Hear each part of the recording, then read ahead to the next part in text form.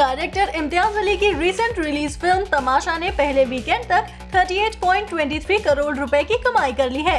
बीते रोज मुंबई के एक होटल में रणबीर और दीपिका स्टारर इस फ़िल्म की सक्सेस पार्टी ऑर्गेनाइज की गई। पार्टी में दीपिका के कथित बॉयफ्रेंड रणबीर सिंह भी शामिल हुए। मीडिया से इंटरेक्शन के दौरान दोनों की सिजलिंग केमिस्ट्री देखने को मिली। बहुत खूबसूरत फ़िल्म है। आ, मैंने इम्तियाज़ को भी कहा रणबीर को दीपिका को रवि वर्मन सर को। That is absolutely absolutely brilliant fabulous fabulous work अर्जा हो गया कि इतनी अच्छी पिक्चर देखी मैंने कभी।